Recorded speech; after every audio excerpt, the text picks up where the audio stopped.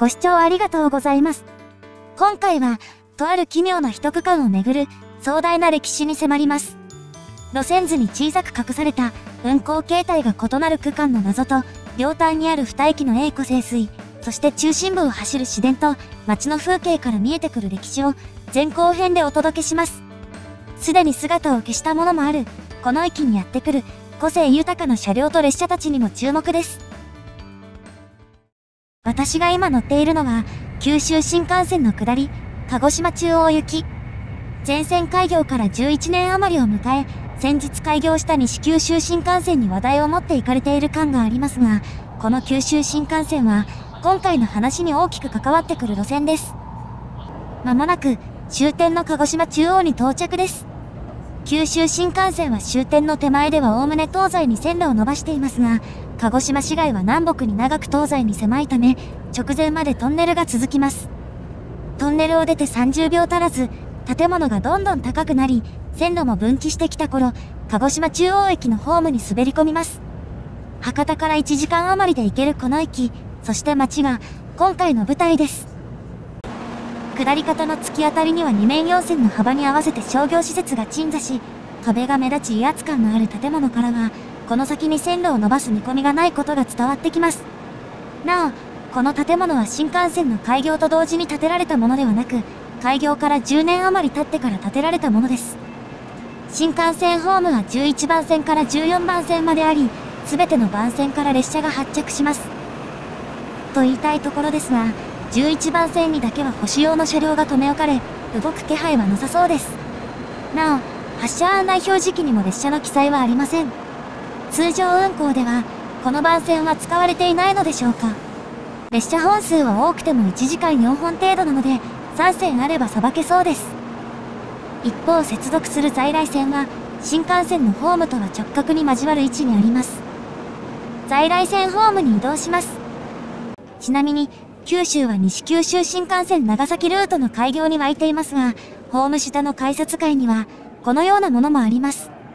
JR 九州ご自慢の800系があしらわれ、ポスターではなく、織物で作られているようですね。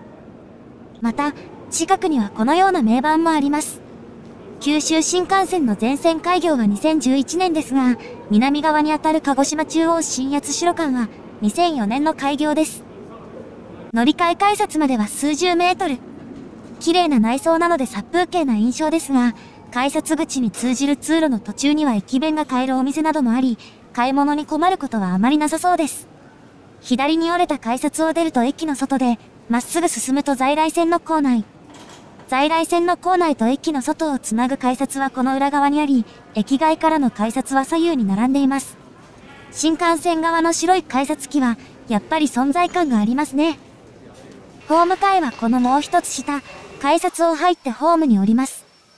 階段を降りてホームにたどり着くと、整然とした駅舎内とは少々異なる雰囲気です。床面は結構デコボコしており、展示ブロックには張り替えられた形跡が残ります。発車案内表示器は LED 式である一方、屋根や柱も少々古い感じがします。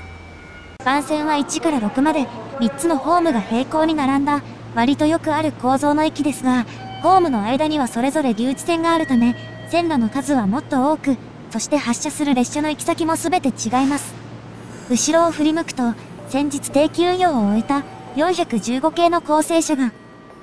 いろいろ複雑なこの駅について、乗り入れ路線や車両も含めて解説していきましょう。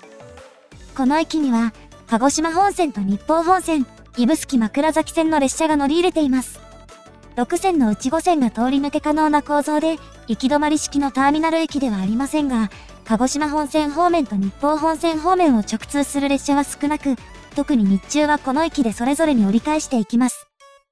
一方、指宿枕崎線は JR 最南端にある駅である西大山駅を抱える路線。先の2線と違って電化されていないため、運用される列車はディーゼルカーだけ。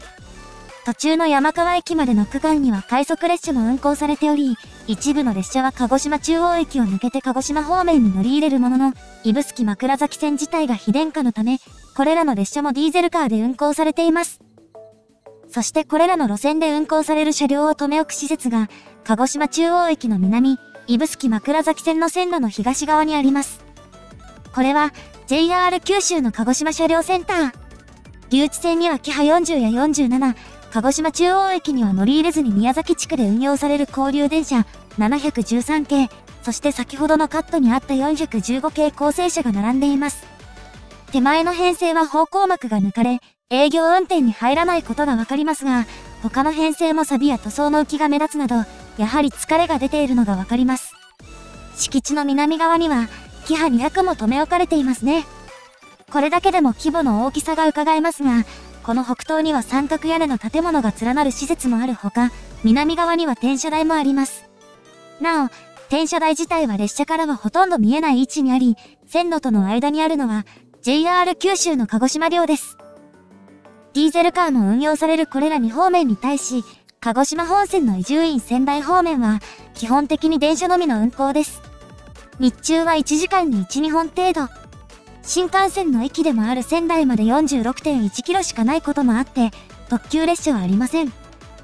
一方、日報本線方面の普通列車も同程度の本数ですが、こちら側には特急列車もあります。この列車は、特急霧島。以前別の動画でご紹介した魔改造車両がある787系ですが、その魔改造車両は連結されておらず、そもそも4両編成と短めで、2017年3月のダイヤ改正以降、ワンマン運転が行われています。なお、列車名の由来である霧島は、鹿児島の北東にあるこの辺りのエリアで、島ではないようです。霧島市の主要駅である国分行きも1本だけありますが、それ以外は太平洋沿いの宮崎駅まで運行されています。一方の普通列車は、その国分行きが半分程度を占めています。鹿児島中央駅の発車案内表示器で列車の行き先がバラバラになっているのは、需要に応じて途中で折り返す列車も運行されていること、3つのホームが必ずしも系統別に分かれていないことが理由です。そして、これらに向かって直角に乗り付けるのが、九州新幹線。西側から鹿児島市街に接近してくる線形で、この東側は、市街地を挟んで3キロ弱で海岸線となっています。この線形や突き当たりにあったあの駅舎を見ても、やはりこれ以上延伸される余地はなさそうです。そしてこの駅に乗り入れる路線や列車、周辺の環境が、ここからの話に大きく関わってくるものです。乗り入れてくる列車は、指宿枕崎線がキハ200とキハ40系列。鹿児島本線と日報本線系統では、この動画を撮影した時点で、787系と817系、415系です。そしてこの駅に乗り入れる列車は、これだけではありません。それが JR 九州ご自慢の観光列車の一つ、指宿の玉手箱です。2011年の九州新幹線全線開業を受けて運行を開始した列車で、キハ47型の2両編成を基本に、キハ140型を改造した1両を連結することもあります。もう一つの列車が、隼人の風。日報本線方面に乗り入れ、肥薩線の吉松駅までを結んでいました。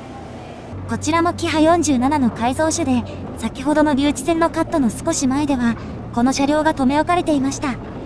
ただし、車両を今年9月から運行される別の特急列車、二つ星4047へ改造することになったため、今年3月21日をもって運行を終えています。また、787系を改造した36プラス3も忘れてはいけません。時刻表でも目立つマーキングがされたこの列車は、先の2つとは違い、九州全域で運行されています。改札口を出て、駅の外へと向かいます。こちらは東口、駅前には大規模マンションもあるこちら側には商業施設もあり、鹿児島市街寄りの場所ということで賑わっているようです。なお、東口は桜島口というのが本来の名称らしく、東口は括弧書きになっています。そして、数多くの路線が発着するバス乗り場と、怒涛の勢いで並ぶタクシーの向こうにあるもう一つの路線が、駅の東口に乗り入れる、鹿児島市電です。北は隣の鹿児島駅前から、南は指宿枕崎線の谷山駅のそばにある谷山停留場までを結び、市の中心部では2つに分かれる路線です。系統はご覧の通りで、郡本から南では、本数が減る系統建てになっています。また、郡本から南では大半が専用軌道で、周囲を草に囲まれた軌道は、場所によっては指宿枕崎線の列車からも見ることができます。逆に郡本から北はほとんどが併用軌道のため、沿線の風景も変わります。なお、鹿児島旧来の繁華街は、鹿児島中央駅から1キロ余り離れた、高見馬場停留場の先のあたりです。JR の駅から少々離れた場所で道路の両側にアーケードがあり、デパートも建っているこの景色は、これまでこのチャンネルで取り上げた地方の大都市でよく見られるものです。南側の郡本では2系統が折り返している一方、1系統と2系統が合流する高見馬場では基本的に折り返す列車がないのは、合流した先にも繁華街が続いているからであり、鹿児島という町の重心がどこにあるのかがわかります。そして、鹿児島という町の成り立ちと深く関わるものが、鹿児島中央駅の改札の外にあります。新幹線と在来線の改札が並ぶ左側には、自動券売機と友人の切符売り場が並んでいます。そして注目すべきは、右側にある在来線の近距離切符用の券売機と、その隣にある新幹線自由席券売機の上にある運賃表です。3方向を比べると、おおむね2000円弱の駅までは自動券売機で買えますが、西側の仙台駅は950円と、他より短くなっています。これは仙台駅より先が、九州新幹線の開業に伴って JR から分離された、第三セクターの被札オレンジ鉄道の路線だからです。ただし大事なのは、路線図の端ではなく、まさに今見えているど真ん中。指宿枕崎線の黄色が鹿児島中央から伸びているのに対し、鹿児島本線の赤と日報本線の青は、隣の鹿児島駅でぶつかっています。大半の列車がこの鹿児島中央で折り返すダイヤが組まれ、特急霧島も鹿児島中央が起点なのに対し、路線自体は隣の鹿児島駅が境界になっています。この奇妙な現象の裏には、これまでご紹介してきた鹿児島中央駅の立ち位置と周辺環境、そしてまだご紹介していなかった鹿児島駅の様子と、これら二駅が歩んできた歴史が関わっています。そしてこれは、鹿児島という街が歩んできた歴史ともつながります。市電と JR で大きく異なる車窓と、県名がそのまま駅名になっている鹿児島駅の少々意外な姿、そして駅間の風景や、駅周辺の様子から見えてくる歴史の全貌は、後編に続きます。ご視聴ありがとうございました。